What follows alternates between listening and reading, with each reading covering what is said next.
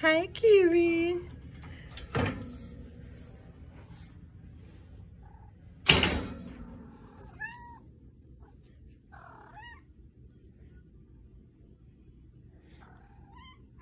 See the sound she makes before she even opens her mouth? That's what we call a trill. Not that we're right or anything. Hi, sweetie.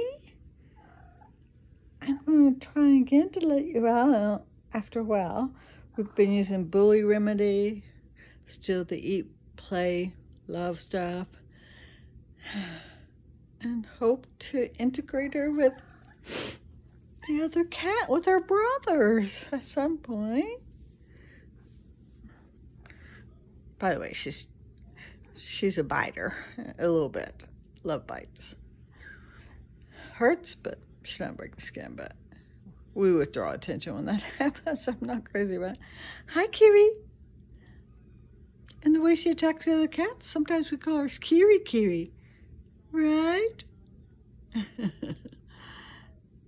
I love you, Kiri. Love you so much. Uh-oh, do you see another cat? Let me look. Yeah, there's Fuzzy.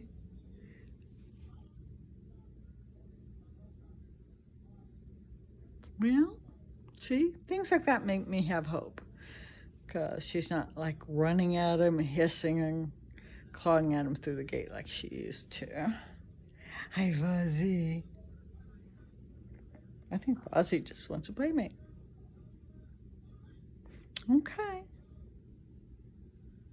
Bye, Kiri. I'll see you later.